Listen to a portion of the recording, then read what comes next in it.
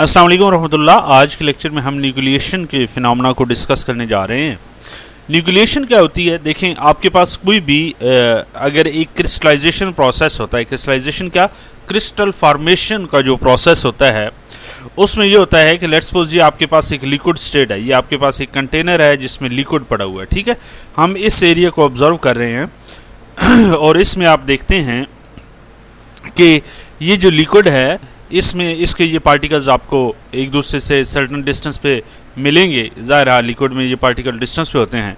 तो जब न्यूक्लिएशन का फिनमना स्टार्ट होता है तो ये जो पार्टिकल्स हैं ये एटम्स या आयंस हैं ये आपस में मिल के एक क्लस्टर बनाते हैं। ये पार्टिकल मैं गलत कह रहा हूँ ये एटम्स या आयंस की बात कर रहा हूँ। ये मिल के एक क्लस्टर बनाते हैं ये वाला क्लस्टर ठीक है? ये वाला। अच्छा ये क्लस्टर अनस्टेबल होता है। ये हर जगह बन रहे होते हैं दो तीन चार एटम मिल के बन, बनाते हैं। फिर इनकी एनर्जी इस लिक्विड की ज़्यादा होती है, ये डिस्पर्स हो जाते हैं। बनाते हैं, फिर डिस्पर्स हो जाते हैं। लेकिन कुछ जगहें ऐसी होती हैं जहाँ पे ये वाला जो क्लस्टराइजेशन का प्रोसेस है, ये जो क्लस्टर्स बनता है, एक, दो, तीन, चार, पाँच छः ये जब बन जाता है एक सर्टन साइज़ का, उसके बाद ये डिज़ोल्व नहीं होता, बल्कि ये इसके बाद इसका साइज़ बड़ा होता है। अच्छा अब वो साइज़ इन क्लस्टर का, वो साइज़ जिसमें ये पार्टिकल ये दोबारा रीडिज़ोल्व ना हो इस सोल्यूशन के अंदर, इस लिक्विड के अंदर, उस साइज़ को, उस मिनिमम साइज़ को हम कहते हैं ये critical size of that nuclei है ऑफ़ दैट पर्टिकुलर न्यूक्लिएशन का क्रिटिकल साइज़ है, या critical size of that particular cluster है। अब यहाँ पे आपको देखें, ये वाला जो है, ये क्लस्टर बना तो है, लेकिन ये अनस्टेबल है, ये दोबारा डिज़ोल्व होके हो जाएगा। लेकिन अगर यहाँ पे हम इसकी देखें तो ये वाला, इसमें ज़्यादा पार्टिकल जुड़ गए हैं और ये अब स्टेबल न्यूक्लियस है। यानी कि इसके बाद ये वाला डिज़ोल्व नहीं होगा। ये वाला जो न्यूक्लियस है ये ग्रो करेगा और एक क्रिस्टल बना देगा। और इस तरह के न्यूक्लियाई हर जगह बन रहे होंगे, पूरे के पूरे कंटेनर में, मुख्तलिफ़ जगहों पे, जहाँ पे गिब्स फ्री एनर्जी कम होगी। इसकी थर्मोडाइनमिक्स हम बाद में डिस्कस करेंगे अगले लेक्चर में। वहाँ वहाँ ये न्यूक्लिएशन का फिनमना स्टार्ट हो जाएगा। और ये हर जगह से न्यूक्लिएशन जब क्रिस्टल ग्रो करेगी तो फाइनली एक पोली क्रिस्टलाइन मटीरियल हमें एक सॉल्डिफाई फॉर्म में मिल जाता है। यहाँ पर भी आप देख रहे हैं कि ये क्रिस्टल मज़ीद ग्रो हुई। तो ये स्टेबल न्यूक्लियस से ये एक क्रिस्टल बन गई। अब यहाँ तक आई होप्स हो कि आपको बेसिक कॉन्सेप्ट का आइडिया हो गया होगा। अब क्रिस्टलाइजेशन क्या प्रोसेस होती क्या है? क्रिस्टलाइजेशन प्रोसेस में दो तरह का फिनमना होता है। पहले फिनमने में न्यूक्लिएशन होती है, जैसे मैंने आपको बताया कि यहाँ क्लस्टर फॉर्मेशन होती है, बाद ये अनस्टेबल होती है और बाद ये स्टेबल हो जाती है। अगर ये अनस्टेबल है तो ज़ाहिर है ये फिर डिस्पर्स होकर ये पार्टिकल इसी तरह, इसी पूरे सोल्यूशन के अंदर रह जाएँगे। लेकिन अगर ये स्टेबल बन गई है, यानी अगर आपने इसके क्रिटिकल साइज़ को क्रॉस कर गई है। मैं अगर यहाँ पे कहूँ ना कि ये रेडियस है, ठीक है? और यहाँ पे मैं कहता हूँ कि टाइम है, ठीक है? तो बहुत ज़्यादा बहुत दफ़ा ऐसा होगा कि जैसे जैसे आप टाइम देंगे, इसका रेडियस बढ़ेगा। और ये वाला, यहाँ पे मैं कहता हूँ कि ये आर क्रिटिकल है। इस पॉइंट पे हमें मिलता है R C critical radius of this particular cluster जिसके बाद न्यूक्लिया स्टेबल हो जाता है। अगर आप टाइम देंगे और इतना इसका साइज़ बढ़ेगा, इस जगह पे पहुंचेगा, ये अनस्टेबल होगा ये दोबारा डिजॉल्व होके उसी तरह के क्लस्टर एटम आयंस उस सोल्यूशन में डिस्पर्स हो जाएँगे मालिक्यूल डिस्पर्स हो जाएँगे। यहाँ पर आप टाइम देंगे, जहाँ तक ग्रो करेगा, ये फिर डिस्पर्स हो जाएगा।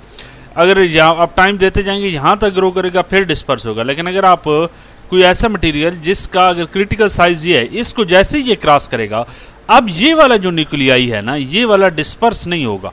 ये बल्कि ग्रो करेगा और फाइनली ये ग्रो करके एक क्रिस्टल बना देगा, जिसको हम कहते हैं कि ये क्रिस्टल ये ज़ाहिर है, ये वाला एरो ये बताता है कि जैसे जैसे आप इसको टाइम देंगे और फेवरेबल कंडीशन देंगे। फेवरेबल कंडीशन मुराद ये है कि आप टेम्परेचर क्या देंगे, या गिब्स फ्री एनर्जी क्या इस सोल्यूशन से निकाल रहे हैं कि नहीं। ये था न्यूक्लिएशन का फिनामना या क्रिस्टल फॉर्मेशन का बेसिक कॉन्सेप्ट अब आगे जाके डिटेल देखते हैं कि पहले न्यूक्लिएशन होती है आर सी क्रिटिकल रेडियस तक ऑप्टेन करने तक जो फिनमना पीछे हो रहा होता है, इसे हम कहते हैं कि ये न्यूक्लिएशन है। आर सी जैसे ही क्रॉस होता है न्यूक्लिएशन कंप्लीट हो जाती है और उसके बाद ग्रोथ का फिनमना स्टार्ट हो जाता है। यानी यहाँ पे ये आर सी अगर ये वाला इसने क्रॉस किया है तो ये वाला स्टेबल न्यूक्लियाई है और यहाँ पे क्रिस्टल ग्रोथ हो रही है। ये वाली क्रिस्टल ग्रोथ है और ये न्यूक्लिएशन है। दो तरह की। अच्छा एक और बात जो है कि ये जो स्टेबल न्यूक्लियाई फॉर्मेशन है या क्रिस्टलाइजेशन है, इसके लिए जो सोल्यूशन है, ये सुपर सेचुरेटेड सोल्यूशन होना चाहिए। अगर आपके पास सोल्यूशन अनसेचुरेटेड होगा, जिसकी भी आप क्रिस्टलाइजेशन कर रहे हैं तो वो ज़ाहिर है आपके पास क्लस्टरिंग नहीं होगी। क्लस्टर फॉर्मेशन के लिए स्टेबल क्लस्टर फॉर्मेशन के लिए, ये बहुत ज़रूरी है कि आपके पास सुपर सेचुरेटेड सोल्यूशन हो। और जब भी when they reach the critical crystal size they become stable nuclei ये वाली बात हम कर चुके हैं। और इस पूरे प्रोसेस को स्टेबल न्यूक्लियर क्लस्टरिंग से स्टेबल न्यूक्लियाई बनने तक, इस फिनामना को हम न्यूक्लिएशन कहते हैं। स्टेबल न्यूक्लियाई से क्रिस्टल बनने तक क्रिस्टल ज़ाहिर है, उसके बाद ग्रो करती है उससे हम कहते हैं क्रिस्टल ग्रोथ ये जो स्टेबल न्यूक्लियाई बन जाता है, ये ज़ाहिर है क्रिस्टल तो बन गई है ना। स्टेबल न्यूक्लियाई बन गया तो एक छोटी क्रिस्टल है। इस जो स्टेबल न्यूक्लियाई के टाइम जो क्रिस्टल होती है आरसी जिसका होता है क्रिटिकल रेडियस ऑप्टेन हो जाता है, ऐसे न्यूक्लियाई को हम कहते हैं, ये बेबी क्रिस्टल है। यानी छोटी सी ननीमुनी क्रिस्टल बन गई है। ये था बेसिक कॉन्सेप्ट बिहाइंड क्रिस्टलाइजेशन अब हम आगे चल के इसकी मज़ीद डिटेल देखने लगे हैं। और वो ये है कि क्रिस्टलाइजेशन जब होती है तो फॉर्मेशन ऑफ़ न्यूक्लियाई है, ये कैसे है? ये देखें, जो फॉर्मेशन ऑफ़ न्यूक्लियाई है, ये दो तरह के न्यूक्लिएशन होती है। पहले तो आपको ये समझ आनी चाहिए कि ज़ाहिर है ये लिक्विड है, लिक्विड की एनर्जी ज़्यादा होती है as compare to solid particle एक ही सब्सटेंस हो फॉर एग्जांपल अगर आपके पास वाटर है तो वाटर अगर सॉलिड है, यानी आइस स्टेट आइस में है तो उसकी गिब्स फ्री एनर्जी कम होगी as compare to that water in liquid state liquid state ज़ाहिर है तब भी होती है जब आप टेम्परेचर देते हैं। टेम्परेचर ज़्यादा देंगे तो ज़ाहिर है अनस्टेबल हो जाएगा सॉलिड फ़ेज़ अनस्टेबल हो जाएगा और वो लिक्विड बन जाएगा। और लिक्विड को आप और टेम्परेचर देंगे तो वो लिक्विड फ़ेज़ अनस्टेबल हो जाएगा, वो गैस फ़ेज़ स्टेबल हो जाएगा। यानी गिव्स फ्री एनर्जी जिसकी जितनी कम होगी, वो फ़ेज़ उतना ज़्यादा स्टेबल होता जाएगा। एनर्जी आप ज़्यादा देते जाएँगे तो फ़ेज़ ट्रांजिशन होती जाएगी। अब, होता यह है कि अगर लिक्विड से सॉलिड फ़ेज़ बनना है, इन पार्टिकल को इधर आना है सॉलिड बनना है तो ज़ाहिर है, ये जो गिब्स फ्री एनर्जी है एनर्जी इसके पास लिक्विड के पास ज़्यादा है तो इसने एनर्जी बाहर फेंकनी है। ये एनर्जी बाहर खींचने के लिए इसी वजह से आप देखते हैं कि फ्रिज के अंदर जब आप पानी रखते हैं तो वो जब आइस बनती है तो आप फ्रिज ज़बरदस्ती इलेक्ट्रिकल एनर्जी को इस्तेमाल कर करके इस हीट एनर्जी को खींच के बाहर फेंक रही होती है। और इस एनर्जी के काम होने के नतीजे में ये वाले पार्टिकल इधर करीब आते हैं और ये मिल के एक स्टेबल न्यूक्लियाई बनाते हैं और फाइनली एक क्रिस्टल भी बना देते हैं। ज़ाहिर है, ये मुश्किल टास्क है, इतना आसान टास्क नहीं है एक स्टेबल न्यूक्लियाई का बनने का। ये कहता है कि एक adequate amount of constituent particle atoms ion या मालिक्यूल हो सकते हैं। इन्हें एक फिक्स लैटिस में अटैच होना होता है, एक स्टेबल न्यूक्लियाई बनाने के लिए। और उस फिक्स लैटिस में अटैच होने के लिए गिब्स फ्री एनर्जी अगर पार्टिकुलरली सल्डिफिकेशन हो रही है तो इनको अपनी पार्टी एनर्जी लूज़ करनी होती है और इन्हें एनर्जी um, कम करनी होती है। For example stable ice nucleus contain hundred molecule अब मैं ये आर सी की बात कर रहा था ना? हाँ वाटर रखते हैं फ्रिज के अंदर तो उसका पानी के अंदर सबसे पहले एक स्टेबल न्यूक्लियाई बनता है। उस स्टेबल न्यूक्लियाई में ये कहता है कि हंड्रेड वाटर मालिक्यूल होना मिनिमम ये ज़रूरी है। उसके बाद ग्रोथ स्टार्ट हो जाएगी। इस इस लैटिस के अंदर ये हंड्रेड मालिक्यूल फिक्स होंगे, तब ये स्टेबल न्यूक्लियाई बनेगा। अगर इससे कम होंगे तो वो दोबारा रीडिजॉल्व हो जाएगा। ये कहता है, और उसे हम अनस्टेबल न्यूक्लियाई कहते हैं। अनस्टेबल न्यूक्लियाई में इधर ग्रो और रीडिजॉल्व अनस्टेबल न्यूक्लियाई अगर ग्रो करेंगे तो स्टेबल न्यूक्लियाई बना देंगे, या वो रीडिजॉल्व हो जाएँगे। The minimum size of a stable nucleus is called critical size ये मैंने आपको पहले भी बता दिया है।